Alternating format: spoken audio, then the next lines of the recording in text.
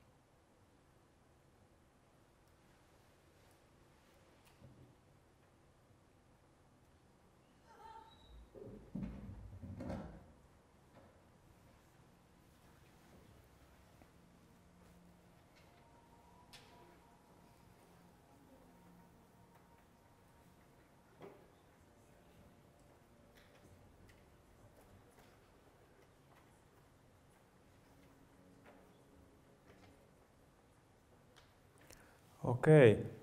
Tämä oli tota lyhyt pätkä yhdestä elokuvasta, mitä me ollaan käytetty aivokuvantamisen yhteydessä. Tämmöinen Crash-niminen elokuva. Kuin moni teistä on nähnyt sen käsi pystyyn? Eli aika monet. Ja varmaan tuo kohtauskin sieltä sitten tuota noin, niin, niille muistuu, jotka on, on tämän nähneet.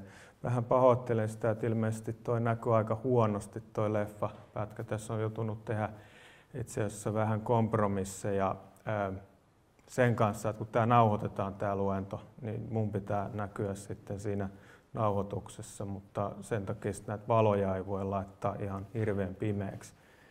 Mutta toivottavasti kuitenkin jotain näitte tuosta ja jos mä oikeastaan voisin kysyä tällaisia kysymyksiä tässä, että, että minkälaisia ajatuksia niin, niin katsoessa, mitä teille tuli, niin kuinka moni teistä niin kuin monella oli aluksi semmoinen tuntemus, ihan tuossa kun se lähti käyntiin se leffaklippi, että mitä siellä on tapahtumassa, yritys päästä vähän kartalle.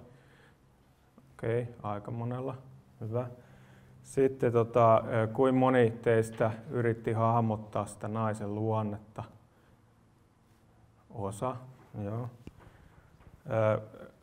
kuinka monella, no okei nyt se äänipuoli oli vähän köyhä tässä, tässä pahoittelen sitä, mutta kuinka monella oli ärtymyksen tarttumisen tunnetta, kun toi nainen tuskaili ja, ja puhui vihaisesti puhelimessa. Joku, se, näin, näinkin. Entäs sitten myötätuntoa, kun nainen rupesi näyttää surulliselta? Aika monella hyvä. Huolestumista, kun se liukastui raput alas. No niin, se on sitten jo näin niin kuin aika monen. Eli nämähän on hyvin pitkälti tämmöisiä yksilöllisiä kokemuksia, reaktioita viime kädessä. Että jos otetaan ihan kaksi yksilöä ja katsotaan, mitä ne näkee, niin kyllä siellä on, on eroavaisuuksia. Mutta sitten kuitenkin aivotoiminnan tasolla ja reagoinnin tasolla niin on havaittu, että hyvin tehtyä tämmöistä erityisesti pitkää elokuvaa niin katsellaan hyvin samankaltaisesti. Ja, ja itse asiassa tämä on yksi näistä näistä meidän keskeisistä tutkimusmenetelmistä pystytään vertailemaan, miten samankaltaisesti ihmiset on reagoinut ja sitten toisaalta, miten samankaltaisesti aivot, niiden aivojen eri osat, aivotoiminnan verkostot, aivoalueiden muodostumat verkostot on, on reagoinut. Ja, ja tällä tavalla sitten saadaan tietoa siitä, että, että miten ne aivotapahtumat liittyy tämmöisiin kokemuksiin, niihin kokemuksiin, mistä mä just pyysin, pyysin tätä, näitä kädennostoäänestyksiä. Okei, tota, minkälaista tutkimusmenetelmatiikkaa me sitten käytetään? Meillä tämä toiminnallinen magneettikuvaus sijaitsee itse asiassa tässä rakennuksessa, mutta vähän toisessa siivessä. Tuommoinen kolmen Tesla magneettikuvauslaite. Tässä voitte nähdä kuvan tästä kyseisestä laitteesta, Siemensin ihan uusi vehje ja, ja siinä se idea on se, että koehenkilön pää laitetaan tämmöiseen hyvin voimakkaaseen magneettikenttään ja, ja tuota noin, niin sitten tapahtuu ihme, eli, eli sieltä saadaan sitten niin, ää, tarkka kuva, kolmiulotteinen kuva aivojen rakenteista. Tässä on itse asiassa mun oma vasen aivopuolisko sivulta päin nähtynä ja siinä on sitten nämä, nämä aivopoimut, aivokuoren pinta rekonstruoitu tuosta kolmiulotteisesta aivojen rakenneinformaatiosta ja, ja sitten tässä on, on tämmöisellä värikartalla, ei siellä oikeasti mitään tulipaloa ole siellä aivoissa, mutta tämmöisellä värikartalla me sitten kuvataan, että missä kohtaa esimerkiksi aivojen verivirtaus niin kuin magneettikuvauksen tapauksessa niin on lisääntynyt jonkunlaisen ärsyketilanteen yhteydessä. Okei, toiminnallinen magneettikuvaus on suhteellisen uusi menetelmä, joka keksittiin 90-luvun alussa vasta, eli on helppo ymmärtää siltä pohjalta, että, että se mitä sillä pystytään tehdä tänä päivänä niin, niin se on kaukana vielä kuitenkin siitä optimaalisesta, kun on näin, näin nuoresta menetelmästä kyse. Ja se perustuu ihan sellaiseen ilmiöön kuin happea kuljettavan ja happea kuljettamattoman hemoglobiin eli punaisten verisolujen. Ne poikkeaa toisistaan magneettisilta ominaisuuksiltaan. Ja ja tämä pystytään sitten havaitsemaan tämmöisenä signaalieroina, eli kun sinne aivojenhankin aivokudoksen osaan ryntää happirikasta verta, mikä liittyy siihen, että, että tietyt välittäjäaine pitoisuudet lisääntyy, niin, niin silloin sitten nähdään tämä magneettikuvaus signaali voimistuminen siellä, siellä paikallisesti. Ja tota, näin sitten tämä toiminnallinen magneettikuvaus eli fMRI antaa paikallisesti siis jokaisen aivojen kohdan osalta niin tämmöisen veren hapettuneisuusasteen muutosten aikasarjan. Ja tässä sitten voitte nähdä tämmöisen yliyksinkertaisen esimerkin tuolta toiminnallisen magneettikuvauksen alkupäiviltä tai vuosilta vuodelta 1992. Siinä on koehenkilöt olleet pimeässä ja niin kuin näette heidän näköaivokuorensa signaalintesteettitaso on täällä. Tässä niin kuin aika juoksee täällä ja signaalintesteetti toi. Ja sitten on laitettu lamppu päälle tämmöinen valoärsyke ja niin kuin näette niin näköaivokuoren signaalit nousee ja, ja sitten lamppu pois niin laskee ja nousee. Ja, ja näin sitten tavallaan niin tätä aikasarjaa katsomalla suhteessa siihen, että miten sitä valoa on laitettu päälle ja pois, niin, niin voidaan ää, tutkia aivojen toimintaa. Ja tässä yhteydessä tietysti se, mitä nähtiin, niin sehän tiedettiin aikaisemminkin, että näköaivokuori reagoi valoon, mutta periaatteessahan siis elokuvatkin on erilaisten tapahtumien ja ärsykepiirteiden aikasarjoja. Elokuvassa on niitä hetkiä, jolloin esimerkiksi kasvot näkyy siellä ja sitten on niitä hetkiä, kun ei ole yhtään kasvua näkyvissä. No siitä me saadaan esimerkiksi sitten aikasarja sille, että, että miten siellä on kasvoja näkyvissä. Ja sitten me voidaan katsoa, että, että mitkä osat aivoissa reagoi esimerkiksi ihmiskasvojen näkymiseen siellä elokuvassa. No miksi ylipäätään tarvitaan sitten tämmöisiä niin sanottuja luonnollisen kaltaisia ärsykkeitä, kuten elokuvia aivotutkimuksessa? Niin nythän meillä on ää, ää, pitkä, ansiokas aivotutkimuksen traditio. Pahoittelen, tämä on nyt englanninkielistä tekstiä tässä mutta meillä on pitkä traditio siitä, että on käytetty hyvin kontrolloituja yksinkertaisia ärsykkeitä. Joku tietyn osan näkökenttää on esimerkiksi ärsytetty tämmöisillä hyvin sijoitetuilla valoärsykkeillä ja koehenkilö on katsonut siihen, siihen keskelle tai sitten on ollut eri kor- äänentaajuksisia ääniä esitetty ja näin edespäin. Ja, ja tuota, tällä on saatukin hirveän hyvin tietoa aivojen toiminnasta. Mutta tästä johtuu se, niin kuin nyt nämä tutkijat tässä paperissa, joka on, on tällä, tällä kalvolla esitetty, näin, että sen takia kun on, on käyttäneet niin paljon yksinkertaisia ärsykkeitä, niin aika vähän tiedetään, yllättävän vähän siitä, että miten sitten aivot reagoivat oikean elämän maailman tilanteessa. Ja tietysti sitten sitä kautta on helppo nähdä, että, että tuota, monimutkaisemmilla ärsykkeillä, luonnollisilla ärsykkeillä, niin voidaan yksinkertaisesti ihan testata, että no, toimiiko ne, reagoiko ne samalla tavalla kuin sitten yksinkertaisissa koeolosuhteissa. Esimerkiksi sitten kun meillä on tämmöinen Kyrus fusiformis, siellä on tämmöinen kasvualue, niin joka on saatu esille esittämällä kasvoja ja sitten rakennuksia ja kontrastoimalla näihin, näihin kahteen ärsykkeluokkaan tulevia vasteita, niin, niin, tuota, niin just niin etsimällä kasvot jostain elokuvasta ja, ja sitten katsomalla, että miten tämä kyseinen alue on niihin reagoinut, niin voidaan validoida sitä aikaisempaa tutkimustietoa. Mutta sitten oikeastaan tämä mielenkiintoisempi on se, että tietysti on paljon sellaisia tutkimuskysymyksiä, joita voidaan ainoastaan lähestyä tämmöisillä luonnollisen kaltaisilla tehtävillä.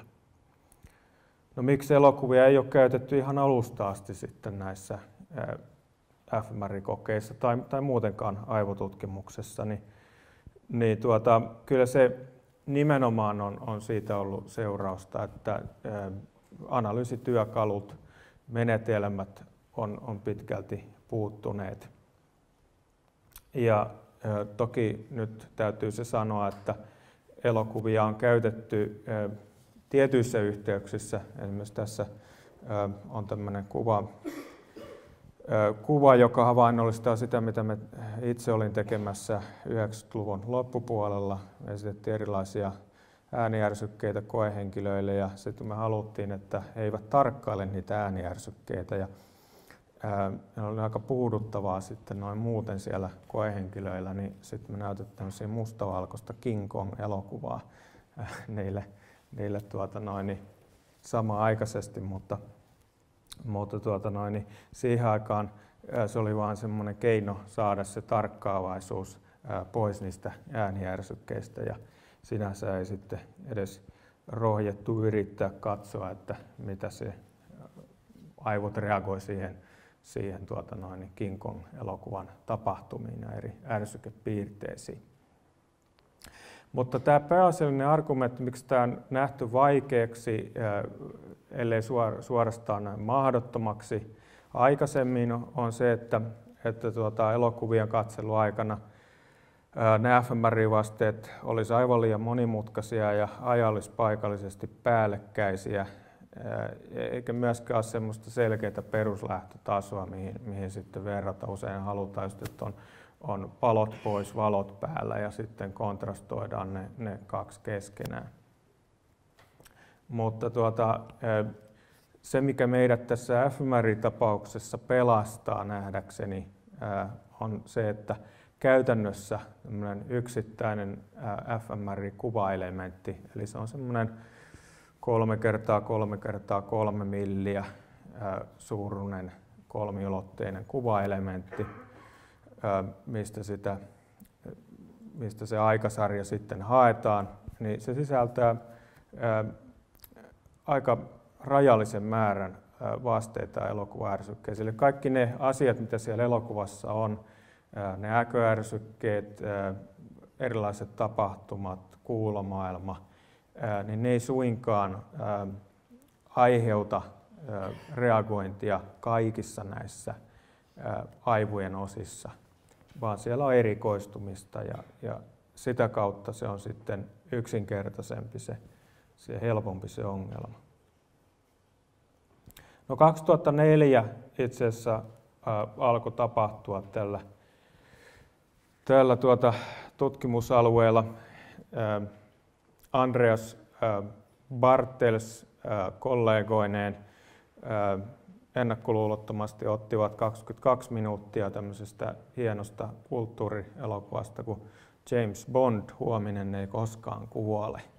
Ja sitten he näyttivät sen koehenkilöille fMRI-kuvauksen aikana ja, ja tuota, he tekivät sitten sen analyysin, data-analyysin sillä tavalla, että heille sitten erillinen koehenkilöjoukko kävi sen elokuvan pätkän läpi ja, ja sieltä sitten ä, kirjasi ylös aikasarjat sille, että miten siellä nyt sitten on ollut esimerkiksi kasvoja ja kielellistä ilmaisua ja, ja sitten ä, noita, noita vartaloita näkyvissä ä, siinä elokuvassa ja sitten he näillä ennustivat tämmöistä ihan yleistä lineaarista mallia käyttäen, että missä päin aivoja sitten se aivoaktiivisuus meni, meni samaan tahtiin ylös ja alas kuin sitten nämä, nämä ärsykepiirteiden esiintyminen. Ja niin kuin tässä nähdään, niin ne sitten saivat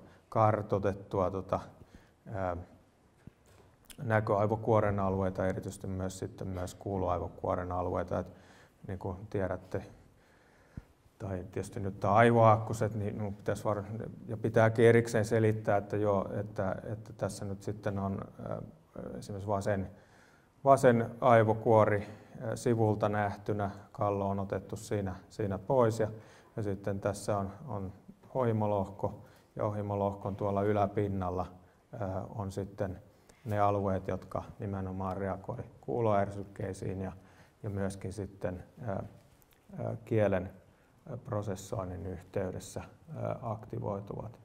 Sen sijaan sitten täällä nähdään tuo kyrus fusiformista on niin tuolta aivojen alapuolelta otettu tämä aivojen pohjaosa ja, ja siellähän se, se kasvualue sitten on. Mutta myös täällä, täällä tuota ohimolohkon takaosassa näkyi kasvoihin reagoivia alueita.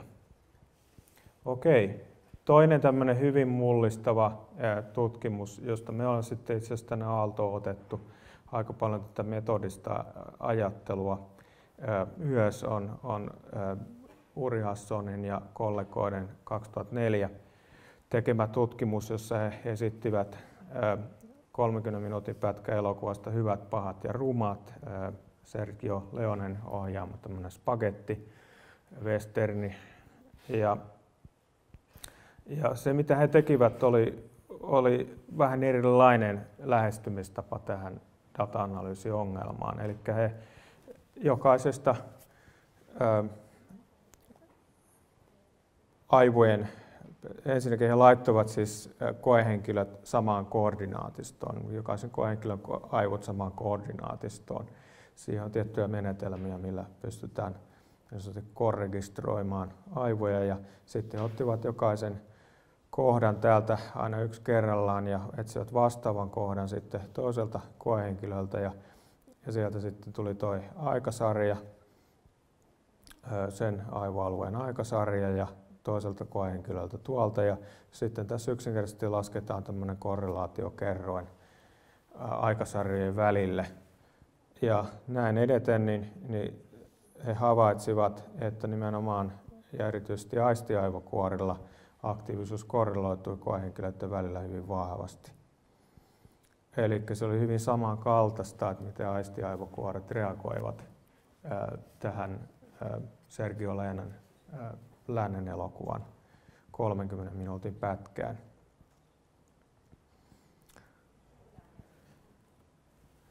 Ja Tämä oli sillä tavalla hyvin tärkeä, että tämä korrelaatiomenetelmä, eli tässä lyhentänyt ISC eli Intersubject Correlation, niin antoi mahdollisuuden tutkia sitten aivotoiminnan samankaltaisuutta elokuvia katseltaessa.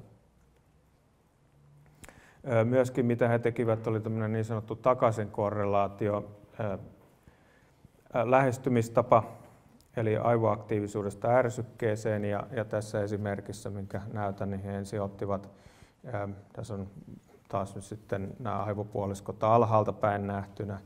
Siinä on, on tuota, niin, sitten otettu tuo kasvualue, eli Gyrus fusiformis, ja sen kasvualueen sitten tämä aktiivisuus koehenkilöiden yli keskiarvostettuna – sitten he laskivat siihen tuommoisen hajontaluvun tuon aikasarjan yli ja katsoivat, että missä kohdassa siellä nyt sitten, millä ajoituksella on, on nämä korkeimmat ää, ää, aivoaktiivisuus tai, tai verenkiertomuutosten huippukohdat, mitkä niiden ajoitukset ja sitten he menivät katsomaan, että mitä siellä elokuvassa tapahtuu. Esimerkiksi tuossa kohtaa, kun, kun nämä, näiden alueiden aktiivisuus on korkealla ja, ja siellä oli kasvot.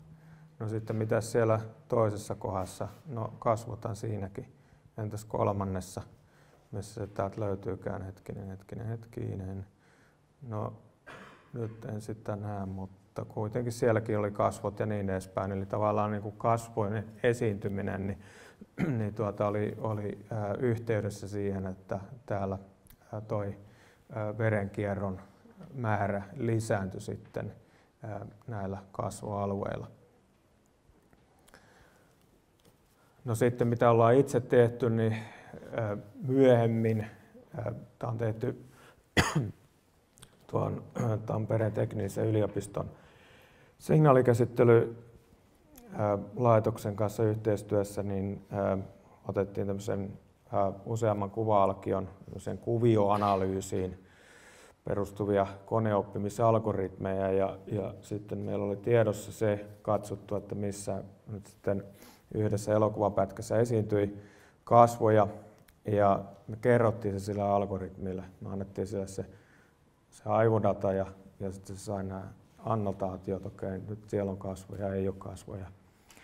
Ja sitten se koneoppimisalgoritmi oppi, että, että okei, okay, nyt niin kuin tällainen hajautunut tai, tai niin kuin spatiaalisesti hajautettu ää, aivovastekuvio niin on yhteydessä siihen, että siellä on ollut kasvoja. Ja sitten me ää, otettiin toinen ää, datasetti ja kysyttiin siltä koneoppimisalgoritmilta, no että ennustappa nyt sitten, että missä siellä nyt on kasvoja.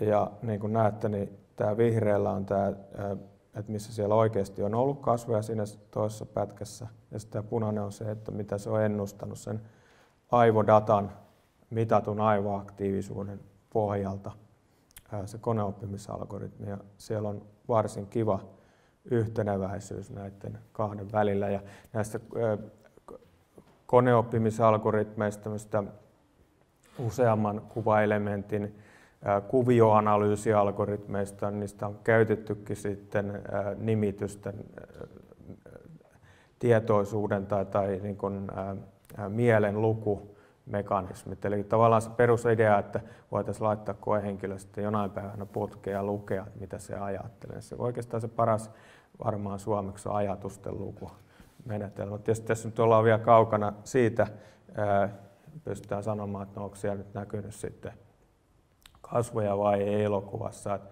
et ei vielä niin kuin, tietystikään pystytä tehdä sitä laittaa henkilöputkeen ja, ja sitten katsotaan, että mitä se on mielikuvitelu esimerkiksi. Mutta tuota, kuitenkin, joo.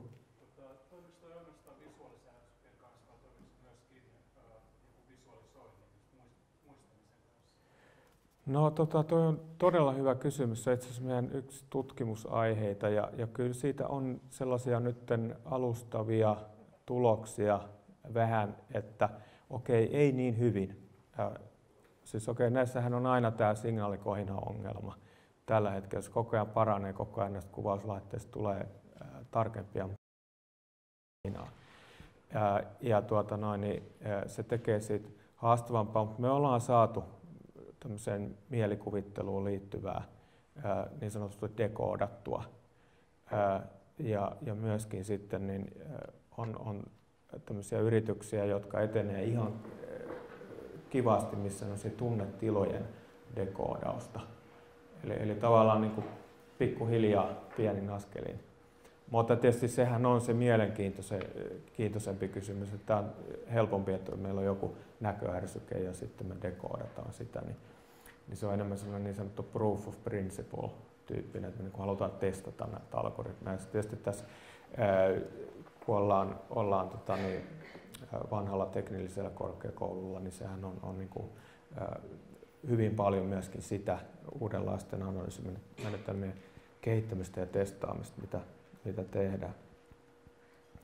Okei, mutta täällä, täällä tosiaan näitä kasvoennusteilla sitten niin, niin löydettiin tiettyjä aivo, aivo, aivoalueita ja mukaan lukien sitten tämä Kyrus fusiformis. Nyt mun täytyy tunnustaa, mä en tiedä mitä Gyrus fusiformis on suomeksi, mutta, mutta tuota noin, niin latinaakin kuulemma saa käyttää näissä yhteyksissä, kun on, on tota, suomenkielinen luonto. Okei, mutta näin, siis tämä kysymys, mikä Spears ja McGuire ää, tässä Trends in Cognitive Sciences jutussaan 2007 kysyivät, että reagoivatko aivoalueet, kuten ää, fusiforminen kasvualue, myöskin sitten kun luonnollisen kaltaisessa tilanteessa näkyy niitä kasvoja, niin, niin se nyt sitten voimme sanoa, että kyllä se näin juuri tekee. Ja sitten tietysti pääsemme siihen, siihen tuota noin, niin, astetta mielenkiintoisempaan kysymykseen. Eli on tiettyjä ilmiöitä, missä sitten elokuvat on ihan omimpiaan, koska ne herättelevät ää, koehenkilöissä sellaisia ilmiöitä, mitä, mitä olisi hyvin vaikea muuten, muuten saada aikaiseksi. Ja yksi tietysti, mitä elokuvat tekee, niin ne aikaan saa voimakkaita ja aitoja tunteita koehenkilöissä elokuvan pätkien kattomisen aikana paljon enemmän kuin esimerkiksi valokuvat saavat aikaiseksi. Tässähän luentosarjalla muistaakseni on sitten tulossa vielä erikseen näistä emootioasioista puhumaan toinen luennoitsija, mutta, mutta ehkä se ei haittaa. Tässä jo vähän näitä sivutaan näitä emootiotutkimuksen peruskäsitteitä. Eli tässä voitte nähdä, että minkälaisia valokuvia sitten esimerkiksi on, on käytetty meidän omissa aikaisemmissa fMRI-kokeissa on julkaistu 2010. Esimerkiksi syntymäpäiväkakku ja hymyilevä ihminen ja sitten tämmöinen kaunis asetelman maalaus toi, toi taitaa olla. Ja toinen, mitä tietysti elokuvilla voidaan tutkia, niin esimerkiksi sosiaalisia vuorovaikutuksia, jotka kehittyy ajan ylitse. Eli tavallaan, että jos näette valokuvan jostain sosiaalisesta vuorovaikutuksesta, siinä on kaksi tai kolme henkilöä, niin kyllähän siitäkin voi jo arvailla, että mitä nyt siinä saattaisi olla, meneillään, että onko se ärtyneitä toisilleen vai, vai, vai mikä siinä on, mutta että kyllä semmoinen aika niin kuin hailakka arvaus vasta on. Sitten jos, jos pystytte niin kuin vaikka kaksi minuuttia seuraamaan, että mistä he juttelee ja miten he reagoivat toisiinsa ja tällä tavalla näin, niin, niin tuota, siitä saa paljon paremman ää, käsityksen. Ja, ja tuota noin, niin, ää, elokuvassa myöskin sitten niin, ää, on ää, paljon sitä, että, että siellä on ihmisiä, joilla on tavoitteellista toimintaa ja, ja tuota noin, niin, kohtaavat vastoinkäymisiä, tekevät ehkä virheitä ja, ja, ja kaikki nämä sitten on, antaa mahdollisuuden siihen, että voidaan myös katsoa, että miten aivot havaitsee, prosessoi sitä, kun joku toinen henkilö tekee jonkun virheen, miten, ne, miten me opitaan niin kuin havainto-oppimisen kautta, miten se mahdollistuu aivojen toiminnan tasolla. No nyt yksi, mitä me itse asiassa silloin, kun me innostuttiin hyvin, hyvin paljon näistä pioneeritutkimuksista, jotka oli julkaistu vuonna 2004, niin, niin tuota, yksi mitä me huomattiin ihan siinä alkuvaiheessa oli se, että, että sosiaalis... No nyt tässä on tietysti kirjoitusvirhe, pahoittelen sitä, mutta sosiaalis-emotionaaliset aivoalueet ei korreloituneet tässä, tässä alkuperäisessä 2004 tutkimuksessa, eli etuotsalohkot ja mantelitumakkeet muun muassa, niin ei korreloituneet henkilöt yli ainakaan sillä merkitsevästi, että ne, ne sinne sitten olisi, olisi mainittu. Siellä oli enemmän semmoista niin kuin yksilöllistä hajontaa toisin sanottuna. Me lähdettiin ajattelemaan, että olisikohan mahdollista, että, että tämä selittyy sillä, että kun henkilöt ei tienneet, että on 30 minuutin pätkän edeltävää, edeltäviä tapahtumia, joissa oli otettu sieltä, sieltä tuota noin, aika keskeltä Ehkäpä se irrallinen 30 minuutin pätkä katsottiin ilman, että päästiin kovin hyvin juonesta kiinni ja ilman vahvoja elokuvan synnyttämiä tunnereaktioita. Nämä nyt oli tämmöisiä alustavia hypoteeseja ö, siitä ja, ja, ja tuota, no, sitten me ihan lähdettiin te- tekemään sitä, että me näytettiin tämän Crash-elokuvan, mistä näette lyhyen pätkän tuossa alussa, niin ensimmäiset 72 minuuttia noissa miniteatterissa siellä oli ihan, ihan kaiuttimet ja, ja sitten suhteellisen iso skriini. 12 terveelle koekaniinille ja, ja tuota, näin he sitten pääsivät hyvään elokuvatunnelmaan ja sitten pistettiin filmi poikki ja vietiin heidät alakertaan tuonne kuvauslaitteeseen ja ja 36 viimeistä minuuttia näytettiin sitten siellä kuvauslaitteessa. Me valkattiin tämä elokuva tietyin kriteerein. Me ajateltiin, että hyvin ohjattu elokuva varmaankin paremmin korreloi sitten kuin henkilöiden välistä aivotoimintaa. Ja tämä oli hiljattain saanut kolme Oscar-pystiä. Ja lisäksi henkilö, joka näitä elokuvia kartoitteli, ää, ää, niin tuota, oli havainnut, että tämä Crash-elokuva herätti vahvoja tunteita katsojissa. No heti näiden kuvausten jälkeen, kun henkilöt vietiin takaisin miniteatteriin ja uudestaan katsoivat elokuvan viimeiset 36 minuuttia. Ja siellä heidät pyydettiin palauttaa mieleensä, se ei ole etukäteen kerrottu, mutta pyydettiin palauttaa mieleensä, mitä tuntemuksia he olivat tunteneet noiden kuvauslaitteessa vietettyjen hetkien aikana. Ja 30 sekunnin välein he arvioivat sitten heidän virittyneisyytensä, eli oliko uneliaita tai hyvin kiihtyneitä siltä väliltä, ja sitten toisaalta emotionaalisen valenssi, niin sanottu valenssi, eli mitä tämä nyt voisi olla suomeksi, niin jos on, jos on hyvin negatiiviset fiilikset, niin se on negatiivinen valenssi ja hyvin positiiviset fiilikset, sitten positiivinen valenssi ja neutraali siinä, siinä välissä.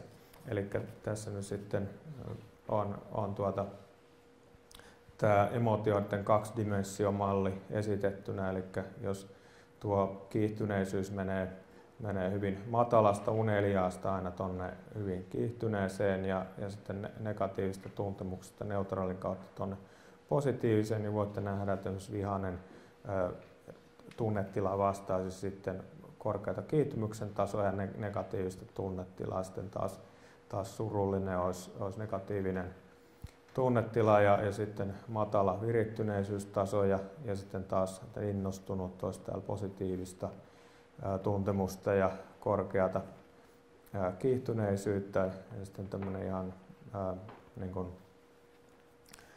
ää, no tämä suomen kieli taas jättää vähän tässä pulaa, mutta, mutta tämmöinen niin kuin, ää, tavallaan niin kuin vahvasti tilanteeseen ikään kuin jonkun tilanteen hälyttämä, että hetkinen, mitä nyt tapahtuu, niin, niin siinä välttämättä ei ole tota, niin, semmoista tunnelatausta niinkään, mutta sitten tuo kiihtyneisyys on, on korkea. Sitten tämmöinen niin kuin, ä, mukava seesteinen olo niin voisi olla esimerkki tämmöisestä positiivisesta valenssista ja matalasta ä, kiihtyneisystasosta. Mutta näin se oma pitkä tutkimustraditionsa liittyy tähän, että emootioita tällä tavalla kahdella dimensiolla mallinnetaan ja, ja, ja tota noin, niin, ää, tiettyä kritiikkiäkin sitä mallia vastaan on osoitettu, mutta kuitenkin otettiin se sitten käyttöömme tässä ää, yhteydessä. Se on aika kuitenkin yleisesti hyväksytty malli loppujen ollut. Ja tässä sitten näette nuo, nuo että 30 sekunnin välein reitataan tässä valenssi on, on punaisella, ne on sitten hajontaviivat tuossa, jonka välissä juoksee keskiarvo ja sitten tuo kiihtyneisyys on, on sinisellä ja, ja tuota, voitte nähdä, että siellä nyt sitten on tämmöinen kohta, muun muassa tämä on niin kuin kaikkein eniten tunteita herättänyt kohta, mistä tuo kiihtyneisyys on ollut hyvin korkea ja ja valenssi hyvin, hyvin negatiivinen. Nyt sitten voitte nähdä tähän liittyviä tapahtumia, on konfliktitilanne ja, ja, ja tuota, ampumiskohtauskin ja, ja tuota, ne, jotka on Crashin nähnyt, niin saattavat muistaa tämän, tämän kyseisen kohtauksen siitä elokuvasta. No, mä olen joskus näyttänytkin tätä vahvimpia tunteita aiheuttaneen kohtauksen jollain luennolla, mutta, mutta tota, toisaalta kun se on kuitenkin sitten sen verran kurja kohtaus, niin mä ajattelin, että teen tämmöisen ratkaisun tällä, tällä kertaa ja pistä siihen vaan tuo sensuroitu teksti. Niin, niin, niin, mutta jos joku sen leffan haluaa katsoa, niin, niin ehkä tämä luento sitten antaa osaltaan lisämotivaatiota. Joo. Mutta kun konteksti lisättiin ja vahvoja tunteita onnistuttiin herättää koehenkilöissä kuvauksen aikana, niin, niin silloin merkitsevää, tilastollisesti merkitsevää koehenkilöiden välistä ajotoimintakorrelaatiota havaittiin etuotsalohkoissa ja mantelitumakkeissa aistiavukuorin lisäksi. Ja tässä näette sitten oikean hemisfäärin aivokuoren ja, ja sitten tuo vasemman hemisfäärin aivokuoren ulkopinnat tai täältä niin sivulta katsottuna. Ja, ja tuota noin, niin etuotsalohkojen välistä korrelaatiota nähtiin ihan erityisesti tuolla oikeassa aivopuoliskossa, joka on yhdistetty negatiivisiin tunteisiin. Ja tämähän oli tämä Crash-elokuva vähän semmoinen gloomi, negatiivisia tunteita voittopuolisesti herättävä. Sitten tässä näette ihan noin aivopuoliskojen sisäpinnat, oikea ja vasen aivopuolisko. Okei, mitkä tekijät sitten, no miten tässä muuten nyt sitten taukoja on pidetty? Onko se siinä, ei pidetä taukoja? Okei, selvä. No niin, mennään sitten ihan, ihan koko matka. No Mikko vaan taisi mulla jotain mainita jostain välitauosta, mutta että jos kerran ei ole ja on tämä aika nyt sillä tavalla iso, iso, ison salin yleisö, että ehkä mennään, mennään näin. Minkälainen tunne, tunnelma teillä on? Meekö me liian hitaasti, meekö me liian nopeasti? Tahti hyvä. Joo, hyvä, hyvä.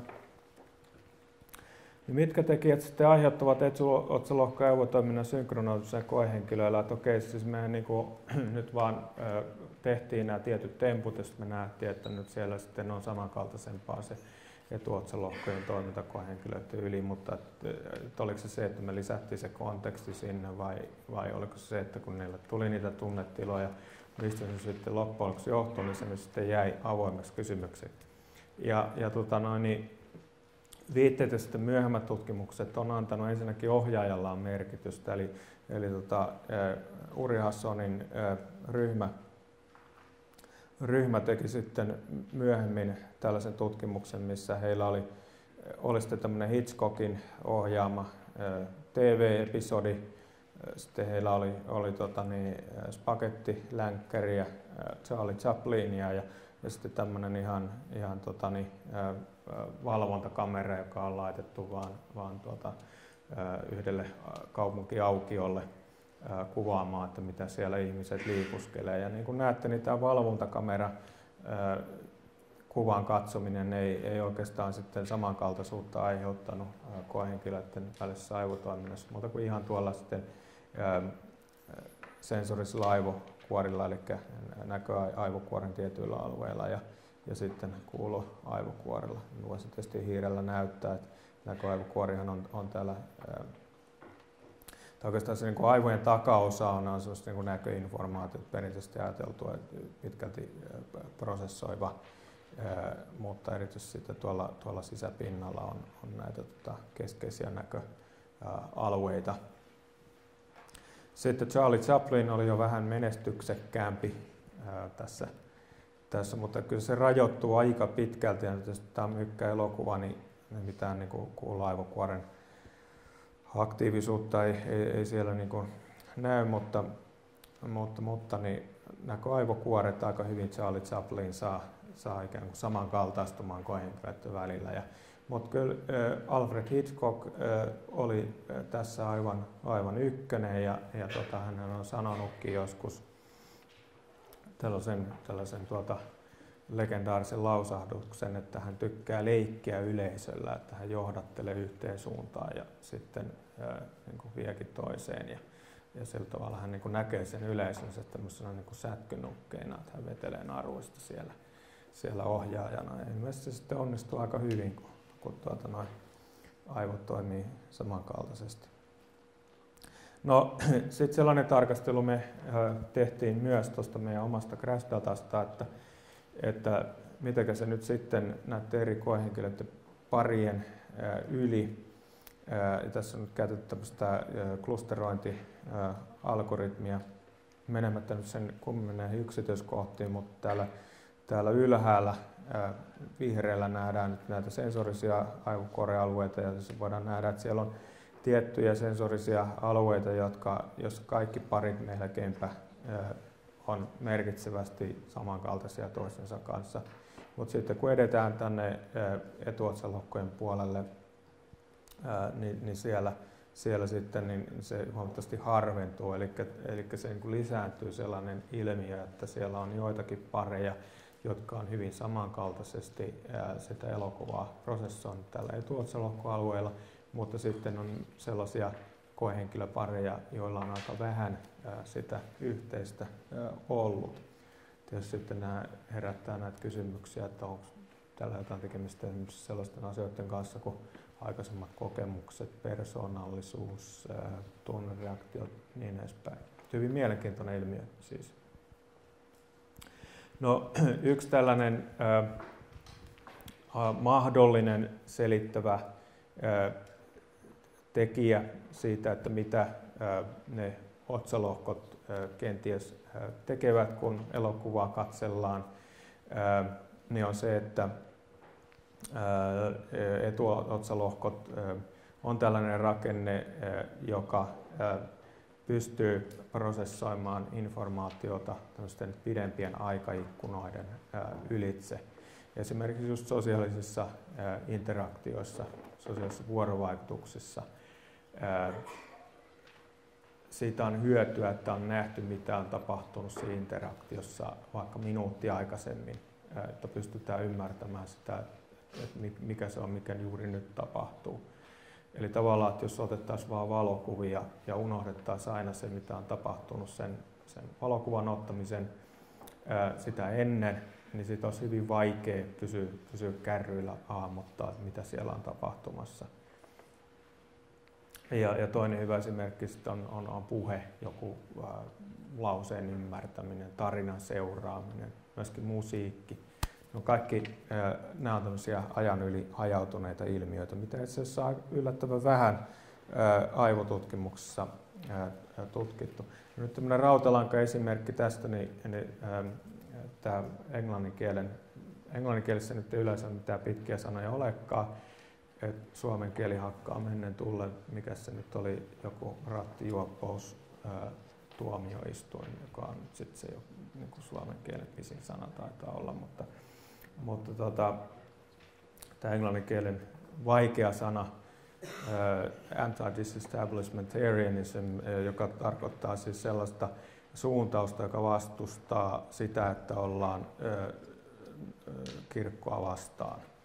Niin, tämä on joskus syntynyt tuolla, olisiko 1600-luvulla tämä, tämä termi vai milloin onkaan, mutta ö, tässä voidaan tavallaan niin kuin havainno, tai havainnollistaa näitä ö, aikaskaalan yliprosessointikysymyksiä sillä, että, että foneettisen koodauksen tasolla niin, niin eihän sitä tietystikään tarvitse katsoa kuin hyvin pieniä pätkiä tuolta, niin kuin aina yksi pätkä kerrallaan, koska tämä nyt sitten on se kriittinen yksikkö. Sen sijaan sitten, jotta tuo sanan merkitys pystyttäisiin hahmottamaan, niin siinä täytyy sitten pystyä koko sen kahden sekunnin yli, mikä se suurin piirtein kestää, kun tuon, tuon sanoo, niin, niin tuota, integroimaan yhdistämään sitä tietoa. Ja, ja näin sitten tosiaan onkin, että myös aivorungon rakenteissa ää, on hyvin lyhyttä aikaikkunaa ja, ja sitten ää, aivokuoren, varsinkin korkeamman rakenteella keskimmäinen ohimolakkopoimu, niin, niin siellä on sitten pidempiä ää, aikaikkunoita. Ää, no, ää, tässä on kuva siitä, mitä tapahtuu tälle aivojen toiminnan samankaltaisuudelle sitten kun tämmöinen elokuva leikataan tämmöisiksi hyvin lyhyiksi neljän sekunnin pätkiksi, jotka sitten ripotellaan satunnaisesti. Eli siinähän ei sitten niin kuin enää mikään juonen kulku enää katsojalle avaudu ja, ja siinä tilanteessa niin näköaivokuoret täällä pään takaosassa onkin ainoat, jotka koehenkilöiden välillä osoittaa samankaltaisuutta. Sitten kun noin 12 sekunnin pätkiin silvotaan se ja näytetään taas näin, näin niin sitten nähdään jo enemmän korkeamman, ää, hierarkisesti korkeampia aivoalueita tuolla näkö, näköaivokuorella. Ja sitten kun mennään 36 sekunnin pätkiin, niin, niin tuota, siellä nähdään sitten jo jotain tuolla otsalohkollakin pientä. Mutta näin, että ikään kuin siellä olisi, olisi semmoinen hierarkia tämmöisistä aikaikkunaista. Ja tätä mahdollisuutta niin me sitten lähdettiin tarkastelemaan laskemalla noita aivotoiminnan välisiä korrelaatioita eri, eri taajuuskaistojen ylitse. Ja tässä voisi nähdä että perusajatus, otetaan se kahdelta eri koehenkilöiltä ja sitten niin kuin joka parille sitten toistetaan, niin tämä aivoaktiivisuus sitten se yksinkertaisesti ö, suodatetaan eri kaistoilla ja sitten näille eri kaistoille, kaistasuodatetuille lasketaan ne korrelaatiot. Ja näin sitten nähtiin, että nimenomaan tuolla otsalohkoissa, niin, niin siellä ää, mat, kaikkein matalimpien suodatettujen kaistojen ää, osalta se koehenkilöiden välinen synkronia oli, oli suurin. Ja tässä voitte nähdä vähän, vähän samankaltaisuutta näissä tuloksissa. Täällä on pääasiallinen näköaivokuori eli tämä V1. Ja siinä on sitten viisi koehenkilöä keskiarvostettu punaiseen käyrään ja sinisen käyrään toiset viisi koehenkilöä. Ja voitte nähdä, että nämä hyvin kauniisti sitten laskostuu päällekkäin. Nämä, tämä aivo, aivotoiminta on hyvin samankaltaista.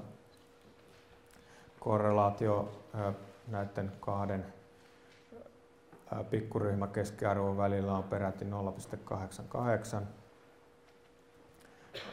mutta niin kuin voitte nähdä täällä, täällä etuotsalohkon alueella, niin ikään kuin tämä hidas taajuus seuraisi aika hyvin, mutta sitten tuo niin kuin nopea ripellys, niin, niin, niin se, siinä ei niin kuin juurikaan semmoista päällekkäin laskostumista tapahdu. Eli tämä on niin kuin havainnollistus siitä, että, että toinen tapa tarkastella tämmöistä korrelaatioilmiötä, vaikka tämä nyt sitten on toinen tutkimus, ihan toinen datasetti, mutta sama ilmiö. Eli siellä on samankaltaisuutta siitä, että siinä kohde, että miten seurataan tämmöisiä niin hitaammin ajan yli kehittyviä ilmiöitä nimenomaan siellä otsalohkoissa. Ja sitten tässä julkaisussa, mikä on ihan vapaasti saatavilla, niin, niin spekuloimme, että kenties tämmöisiä tiettyjä ilmiöitä, niin kuin emootioiden kehittyminen tai sitten sosiaalisten vuorovaikutusten seuraaminen, niin kun ne tapahtuu pidempien aikaikkunoiden yli, niin, niin ehkäpä, ehkäpä sitten otsalohkot nimenomaan niin tällä tavoin reagoivat seuraavat niitä. No, toinen kysymys, lisäävätkö sitten tunteet, koehenkilöiden tunteet, tota, koehenkilöiden välisen aivotoiminnan korrelaatiota? Niin tässä meillä on itse asiassa siinä Crash-elokuva tutkimuksessa pieni, pieni lapsus. Tietysti vaikea nähdä etu, etukäteen näitä, mutta me kerättiin vain joka 30 sekunti ää, niin, ää, näitä, näitä tuntemuksia, niin, niin tässäkään me nyt ei hirveän hyvin voitu sillä mallintaa sitä ää, aivotoimintaa koska vaikka se hemodynamiikka on, on hitaampaa kuin, kuin sitten ihan se hermosolujen laukominen ja toiminta, niin kuitenkin siinä nyt on, on kohtuullinen sekunneissa mitattavissa oleva aikatarkkuus. Ja toinen ongelma oli, oli se, että koska Crash on sellainen elokuva, että siellä on aika monta kohtaa, jossa jos tulee sitä, että on vähän niin kuin hyvä fiilis, mutta toisaalta aika negatiivinen fiilis samaan aikaan. Ja sitten toisaalta on sellaisia kohtia, missä äh, tuntuu ihan neutraalilta oikeasti. Ja nyt tässä myös valenssiskaalassa, missä mennään negatiivisesti neutraalin kautta positiivisesti, tulee tietysti ongelma, että no okei, okay, koehenkilö dilemma. Äh, laittaako hän se siihen neutraaliin silloin, kun hänellä on molempia tuntemuksia, negatiivista ja positiivista samaan aikaan vai, vai tuota, niin johonkin sitten päähän. Eli tavallaan nämä nyt tämmöisiä niin kuin, ää, hypoteeseja siihen, että, että miksi me ei hirveästi pystytty tuossa ensimmäisessä tutkimuksessa ää, näkemään näitä yhteyksiä. Ja, ja sitten me lähdettiin jatkotutkimuksessa tätä selvittämään. Ja, ja kerättiin käytännössä jatkuvana sitten Valencia ja kiittyneisyys informaatiokoehenkilöiltä. Eli koeasetelma oli sitten sellainen, että me otettiin tämmöisiä selkeästi positiivisia negatiivisia neutraaleja lyhyitä pätkiä, noin 90 sekuntia suurin piirtein, ja ensin he katsoivat tämmöistä tämmöistä fiksaatio, niin kiintopistettä, katseen kiintopistettä. Sitten se tuli lyhyt kuvaus tekstimuodossa siitä, että miten suurin piirtein toi elokuvapätkä, joka on tulossa, ja sitten tuli tämmöinen emootiota herättävä elokuvan pätkä, ja osahan niistä nyt sitten ei, ei, ei ollenkaan ollut kovin kivoja kaan katsoa. Eli, eli herättivät negatiivisia tunteita myöskin. Sitten tietysti oli, oli hyvin kivoja positiivisia tunteita herättäviä pätkiä. Ja, ja tämä siis kuvauksen aikana, no nyt sitten heti kuvauksen jälkeen heitä pyydettiin jatkuvana hiiren ylös-alas liikuttelulla ää, arvioimaan että, että, tai muistelemaan, että mitä sitten aiheutti tämä ja tämä ja tämä, tämä ää, kohta ää, näitä tuntemuksia negatiivista positiivisia ja sitten toisaalta toisella arviointikierroksella, että, että miten se ää, heilutti sitten sitä kiihtyneisyys, virittyneisyysastetta. Ja, ja nämähän on niin kuin, tällaisissa koeasettelemissa varsin hyvä tapa mitata sitä, ää, niitä, niitä tunteita, että kysytään koehenkilöltä. Tietysti, sitten olisi muita tapoja niin siis mitata EMG eri kasvolihaksista ja, ja sydämen sykettä ja, ja niin edespäin. Mutta niissä, niissä kuitenkin sitten on, on myös omia ongelmia. Ja tässä on sitten esimerkki elokuvan pätkä, joka näkyy toivoakseni aika hyvin. Siinä oli äänettömiä filmin pätkiä. Ja tässä voitte sitten nähdä ihan tuo keskiarvo ää, veren hapettuneisuusasteen muutoksia, eli keltainen on kaikkein suurin ja punainen skaala vähän pienempi ja sitten kun ei näy mitään väriskaalaa, niin siellä nyt sitten ei mitään tilastollisen merkitsevyyden yli pomppaavaa ole. Ja, ja tässä voitte nähdä, että kun, kun tämä henkilö kummisetä elokuvasta, niin rupeaa huomaamaan, että täällä on verta, niin, niin sitten täällä alkaa ää, tapahtua täällä ää, koehenkilöiden etuotsalohkossa. Tämä on nyt taas vasen aivo, aivopuolisko ää, sitten tuolta sivulta päin katsottuna. Että, että tämmöinen niin kuin, tavallaan niin havainnollistus siitä, että, että miten tuo tutkimus eteni. Ja nyt sitten niin tässä kuvassa, jos katsotte ihan tätä sinistä väriä, niin siinä se sitten on kuvattu, että missä negatiivinen valenssi negatiiviset tuntimukset ennusti sitä, että tuo kohenkilöiden välinen aivotoiminnan korrelaatio lisääntyy. Eli nyt se, käytettiin sitten tämmöistä liukuvaa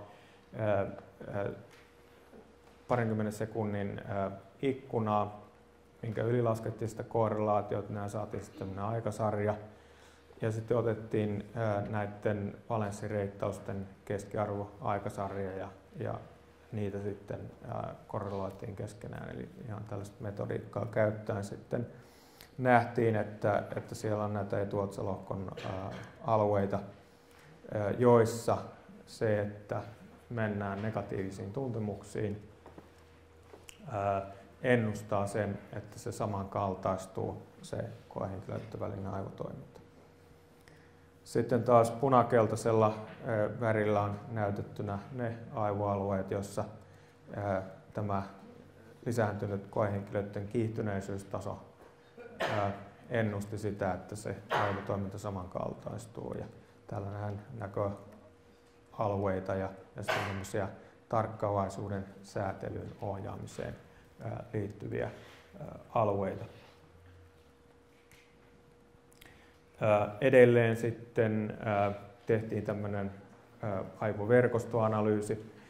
Nythän on aika paljon tutkimustuloksia siitä olemassa, että aivoissa on erilaisia verkostoja, esimerkiksi niin sanottu lepotilaverkosto, jonka merkitystä nyt sitten on hyvin paljon pohdittu. Se alun perin nähtiin siinä, että kun koehenkilöt laitettiin kuvauslaitteen ja sanoi, että älkää tehkö yhtään mitään. Sitten tehtiin siihen aivotoimintaan riippumattomien komponenttien analyysi, niin sieltä sitten toistuvasti näytti tulevan tämmöinen verkosto, jossa on sitten parietaalilohkon, otsalohkon alueita.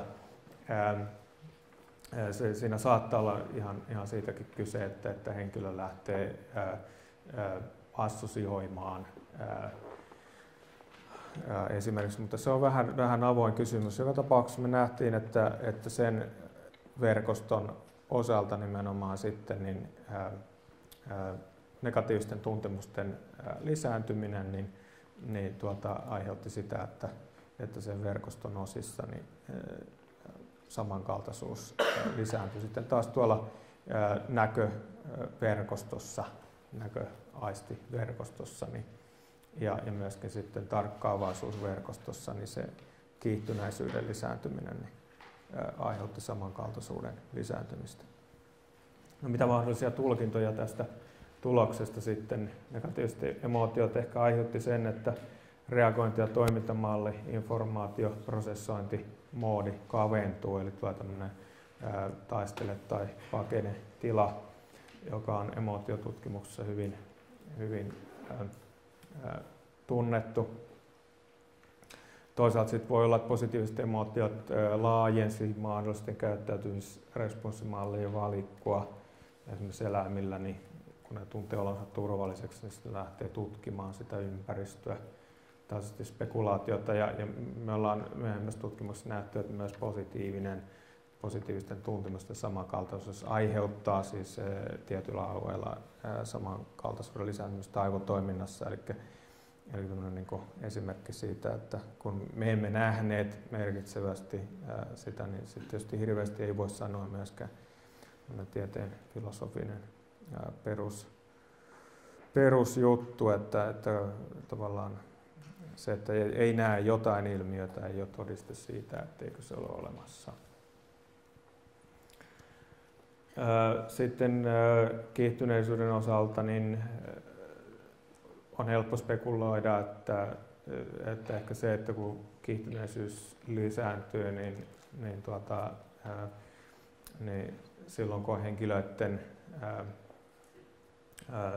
tarkkaavaisuus rupeaa suuntautumaan samalla tavalla samanlaisiin asioihin, toimimaan samankaltaisemmin.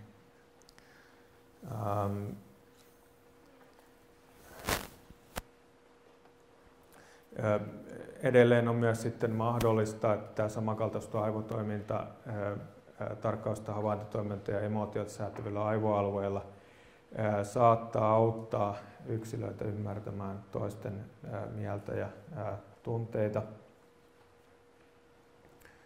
Ja, ja tuota, niin tietysti kertovat siitä osaltaan, että yksilöt näkee, kokee ja ennustaa maailmaa samankaltaisemmin. Tämä itsessään tavallaan tämmöinen hyvin mielenkiintoinen tutkimuskysymys,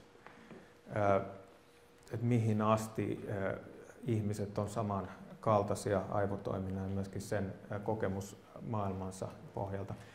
Psykologiastahan tiedämme, että ihmisillä on hyvin tämmöinen vahva taipumus luulla, että muut ihmiset ajattelee samalla tavalla kuin he itse.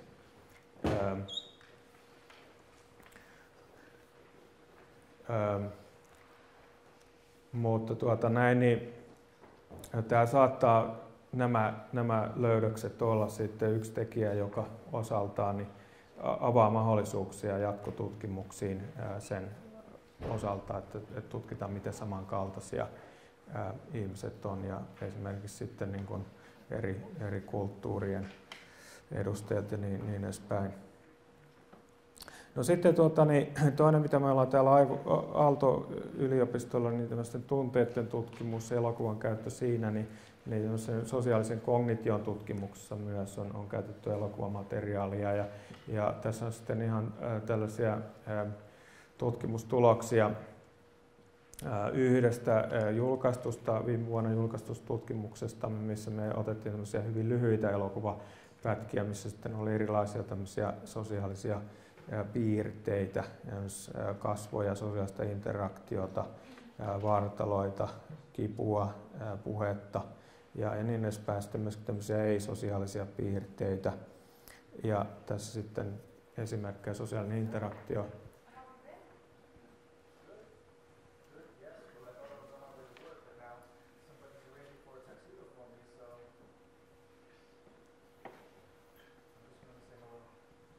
Eli näissä ei sitten mitään niin kuin juontakaan saeltu.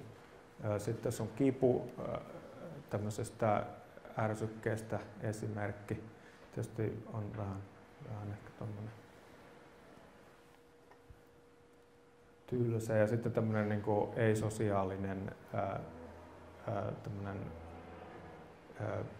esimerkiksi niin kuin kontrollipätkästä, mit, mitä vasten sitten voidaan, voidaan tota, Ja, ja nämä sitten tuota, niin näistä rakennettiin aikasarjat, että miten siellä sitten esiintyy kasvoja, vartaloita, biologista liikettä, kipua, niin edespäin. Ja, ja näillä sitten piirteiden välillä oli jonkun verran jossakin kohtaa korrelaatiota, yllätys, yllätys, sosiaalinen vuorovaikutus ja puhe, niiden esiintyminen niin korreloitunut sen 0,5 tasolla, eli 25 prosenttia sitten selittää toinen toista.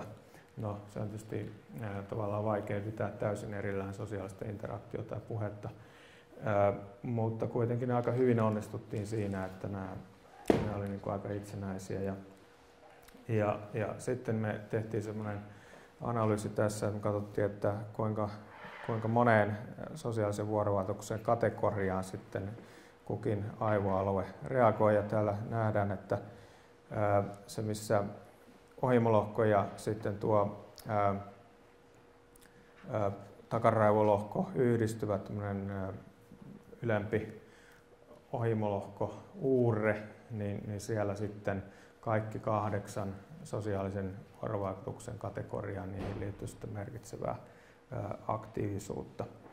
Eli tästä sitten saimme myöskin tämän artikkelin otsikon, että sulkus temporalis superioris posterioris on sosiaalisen havaitsemisen keskittymänä.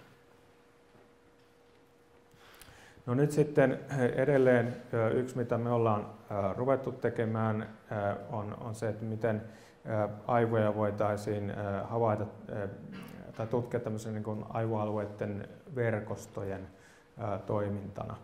Eli tämmöisiä kuin yksittäisiä alueita katsomalla, niin se tietysti saadaan hirveän hyvää tietoa, mutta kun se kuitenkin ajattelutoiminnot, muistitunteet ja niin edespäin, niin viime kädessä on, on, on aivoalueiden yhteistoiminnan tulosta, niin, niin tähän sitten on, on, on tiettyjä menetelmiäkin saatavilla. Tässä on nyt ihan tämmöisen, niin kuin, tämmöisen hyvin yksinkertaisen menetelmän esitys. Eli, eli jos tuota otetaan, niin kaikki aivokuvaelementit ja ja sitten kor- korrelaatiot niiden välillä ja sitten yksinkertaisesti vaan kynnystetään se korrelaatio kartta, niin, niin sieltä sitten voidaan, voidaan tuota noin, niin, ää, saada tuommoinen verkosto, missä sitten ää, nähdään, että mikä on mihinkin ää, kytköksissä toiminnallisesti. Ja, ja näin me sitten niin kuin vähän samankaltaista samankaltaista analyysiä tavoittelimme myöskin, myöskin tässä meidän, meidän sosiaalisen kognition aivokuvantamistutkimuksessa ja, ja tuota noin, niin, otettiin sieltä sitten niitä alueita, jotka oli, oli reagoinut vahvasti näihin eri ää, sosiaalisen vuorovaikutuksen kategorioihin ja, ja sitten laskettiin kaikkien näiden välille korrelaatiot ja, ja tuota, Eli yksi tämmöinen pallukka sitten on, on yksi alue, noin, missä on tuota, genoviivaa, niin ne on vasemman aivopuoliskon ja, ja ää, täytetyt pallukat oikean aivopuoliskon ja, ja, ja sitten tuo pallukan koko on, että, että kuinka moneen ää, sillä nyt sitten oli merkitsevää korrelaatioyhteyttä. Ja, ja sitten ajamalla tuommoisen Infomax-algoritmin läpi, joka klusteroi näitä näitä kompleksverkkoja, niin, niin saatiin sieltä näkyviin tämmöinen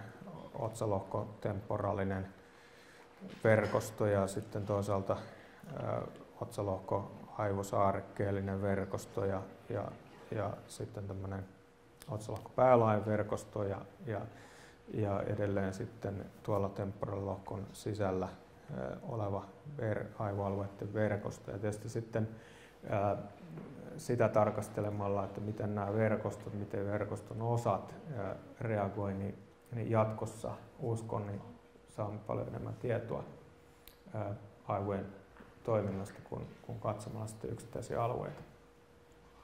Mutta tietysti tässä nyt täytyy sanoa, että, että tuossakin tutkimuksessa oli, oli tiettyjä vajavuuksia, eli erääntyy keskeisesti sosiaalisen kognitioalueesta Eli, eli tuota noin, niin sisempi, ää, sisempi otsalohkojen alapuoleinen osa, mikä niin mielen teorian ää, kannalta on hyvin keskeiseksi havaittu. Tässä on nyt sitten tämmöinen meta-analyysi tulos näytettynä, eli kuinka monelta prosenttia tutkimuksista on havaittu erilaisissa mielenteoria tehtävissä koehenkilöllä sitten merkitsevää aktiivisuutta. Ja niin kuin näette, niin 92 prosenttia peräti tutkimuksista, mitä tässä on, on käyty läpi kyseisessä meta-analyysissä, niin on, on löydetty nimenomaan täältä keltaiselta alueelta. Tämä on nyt sieltä lohkojen välistä ja tuosta niin kuin tavallaan ihan silmien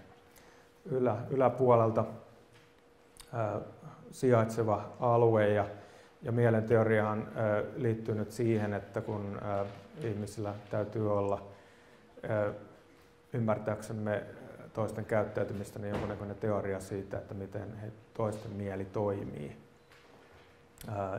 Että esimerkiksi tieto, ymmärrys siitä, että kaikki ei tiedä samaa kuin mitä itse tiedetään ja, ja näin, näin edespäin. Eli tämmöinen niin kuin korkeamman tason sosiaalinen kognitio ja niin kuin näette, niin, niin kuin, ne oli nämä yksittäiset lyhyet elokuvaklipit, mitä käytimme, niin ää, sellaisia, jotka ei hirveästi sitä mielenteoriata ää, ää, ainakaan niin kuin täysimääräisesti ää, stimuloineet, niin, niin, niin tuota, tietyllä tavalla niin, niin mielenterveystutkimussakin on nähty tätä ohimolohkon taka, takaosien ää, ää, merkitystä, mutta sitten tuo, mikä nyt keltaisella tässä näkyy, niin nämä keskeisimmät mielenteorian kannalta keskeisimmät alueet, niin ne oli aika, aika tuolla ää, tavalla niin kuin tuossa meidän tutkimuksessa ää, puhtaita. Ja, ja toisaalta tiedämme, että sitten tämmöisissä tietyissä kohtauksissa me nähdään riskinotto käyttäytymisen yhteydessä, niin, niin sitten tota, ohimolohkojen sisäpinnan aktiivisuutta katsojassa, niin nyt mennään niin kuin väärään suuntaan. Tavallaan tällainen lyhyt pätkä tuolta Kaurismäki elokuvasta tuli Tekkutehtaan tyttö. Ja, mutta kun tässä on Taikki mukana, Aalto-yliopistossa, niin sitten tuolla on viime, viime keväänä tehty tämmöinen tota noin, niin, yhteistyössä Taikin kanssa tämmöinen lyhyt elokuva. Ja siis Prisma Studio taisi tästä tehdä jutun nyt alkukesästä ja, ja se on kai ihan katsottavissa ja, ja tuota, arvioitavissa juuri tällä hetkellä siellä Yle Areenassa. Niin sieltä voi käydä katsomassa sitten, että, että aktivoituuko sitten mielen teoria. Okei, no kuinka parantaa menetelmiä? Mä tiedän, että tässä alkaa tämä aika käymään vähän vähin tämän luentokerran osalta. Ää, mutta vielä sitten ehditään, eli ihan lyhyesti ää, haluan vähän siitä kertoa, että, että minkälaista ää, menetelmällistä ää, edistysaskelta Kualto-yliopiston tässä ää, teknistieteellisellä puolella kuitenkin ollaan Eli, eli tämähän nyt sitten, jos ajatellaan tätä ihan korrelaatioalgoritmia, lasketaan nyt koehenkilöiden välisiä korrelaatioita, niin tämä suhteellisen huono ajallinen tarkkuus on menetelmän suurin yksittäinen heikkous, eli pitää laskea 20 sekunnin liukuvienkin aikaikkunoiden ylitse. Ja tietysti se on 20 sekuntia aika, aika kuitenkin niin kuin sitten, okay, se, se on ihan hyvä, jos tutkitaan jotain emotioresponsseja, mutta sitten jos siellä on jotain nopeita tapahtumia, elokuvissa, niin, niin tuota, se, se vaan ei taho riittää.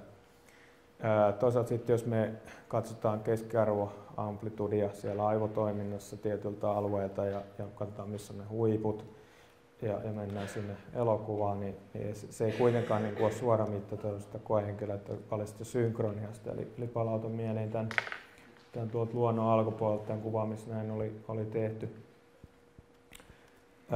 ja tota noin, niin nyt sitten niin, hiljattain julkaisimme menetelmää, joka antaa paremman ajallisen tarkkuuden, eli koehenkilöiden välinen vaihe synkronian mitta. Ja, ja tässä mitä yksinkertaisesti olemme tehneet, niin Ää, ensin on, on haarukoitu tietty taajuuskaista sieltä ää, ää, hemodynamiikasta, jossa olisi mahdollisimman ää, paljon sitä ikään kuin aivotoiminnan ilmiöt, missä ollaan kiinnostuttu mahdollisimman vähän, vähän ulkoisten häiriöiden tuomia ongelmia ja tämmöinen kapeamman kaistan ottaminen, niin se on kuitenkin edellytys siihen, että voidaan laskea tämmöinen ajallisesti tarkka vaihesynkronia.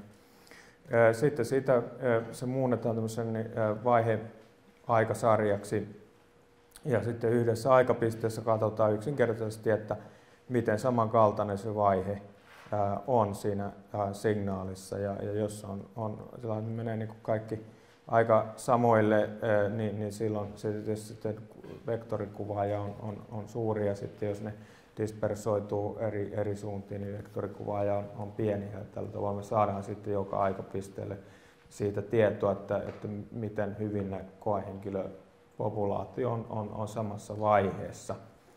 Ja, ja tuota, noita heidän aivotoimintansa siis. Ja, ja tuota, noin, niin tässä voit sitten nähdä tällaisen tarkastelun, jossa on keltaisella värillä se, että missä sitä vaihesynkronia-analyysi, niin koko tämmöisen elokuvan katseluaikasarjan ylitse näytti sitten merkitsevää aivotoimintojen samankaltaisuutta ja, ja sitten punaisella, että missä se korrelaatiomenetelmä ja, ja, ja sitten tuo oranssi on se, että missä ne molemmat menetelmät. Eli toi vaihesynkronia-menetelmä kuitenkin niin kuin hieman enemmän noita alueita tuolta osoittaa ja, ja, ja tuota, no, niin kuitenkin se on aika, aika hyvä tuo noiden menetelmien välinen, välinen tuota, no, niin, se, että niin kuin ne menetelmät ovat samaa mieltä. Okei, ää, sitten tässä on ihan tällainen tarkastelu, että otettu tuolta yhdeltä alueelta, eli näköalue, joka reagoi liikkeeseen. Ja sieltä sitten tuo mustalla on se vaihesynkronia aikasarja, koehenkilöiden välinen vaihesynkronia. Ja sitten tässä on eri suuruisia tämmöisiä aikaikkunoita. Että saataisiin sekunnit, niin pitää kertoa kahdella, se on neljä, neljä tämmöistä näytettä, kahdeksan näytettä, 16 ja, ja, ja 32 näytettä. Ja niin kuin tässä näette, niin kun mennään lyhyeseen aikaikkunaan, niin tämä korrelaatiomenetelmä, niin, niin tuota, si, siitä tulee aika kohinaista heiluntaa. Sitten taas kun mennään hirveän pitkään, niin semmoinen tarkka ajallinen tieto oikeastaan sieltä, sieltä katoaa. Ja, ja tämä on yksi demonstraatio siitä, että saattaisi olla, olla tuota noin, niin, selkeä askel eteenpäin tuo vaihesynkronia, mikä on, on sitten tullut saataville.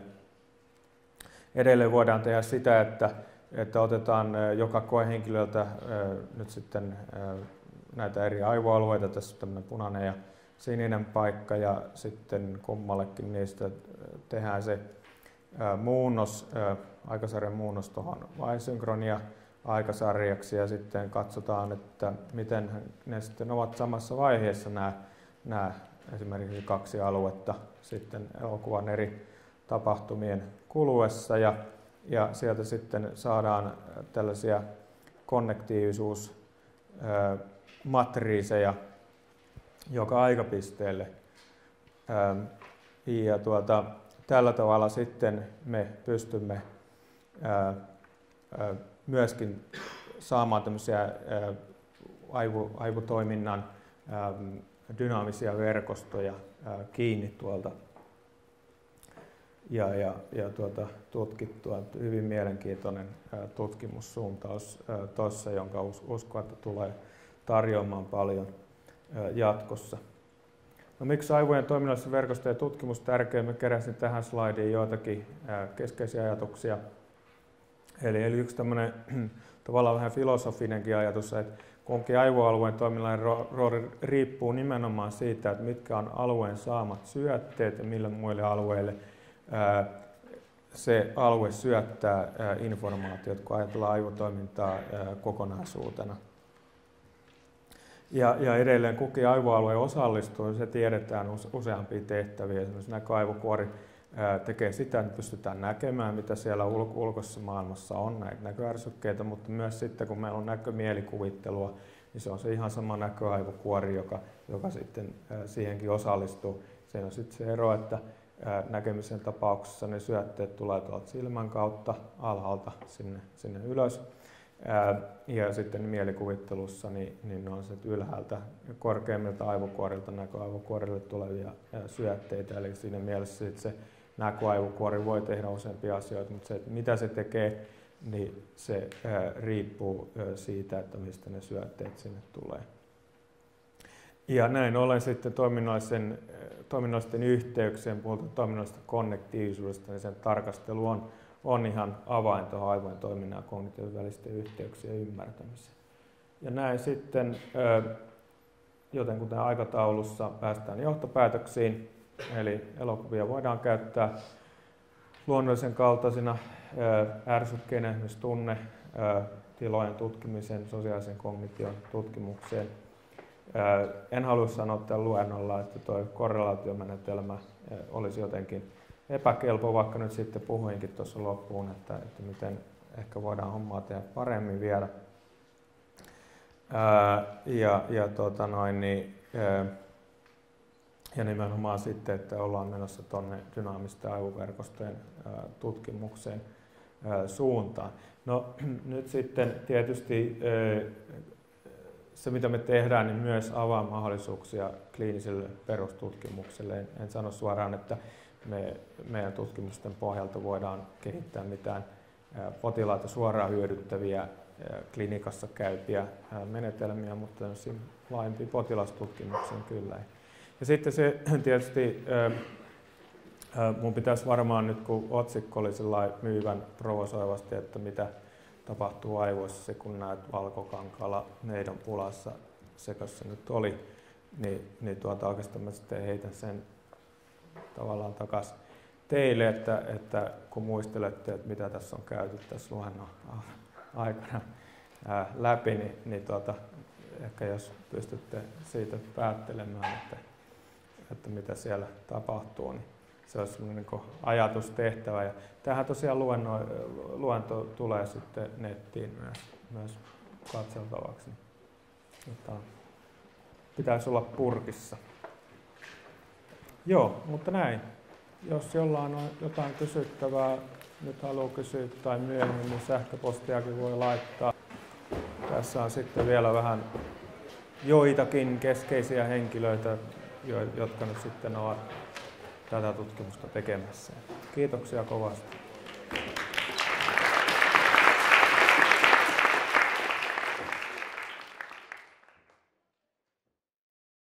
Uh, this device is a standard 3 Tesla magnetic resonance imaging device, the kind you would see in, in, a, in hospitals, university hospitals, for example. Uh, functional magnetic resonance imaging, so fMRI, is based on the uh, Bolt effect, so blood oxygenation level dependent signal. And it's based on the assumption that when you have activation in the brain, in, in the neurons, uh, those places in the brain they require more oxygen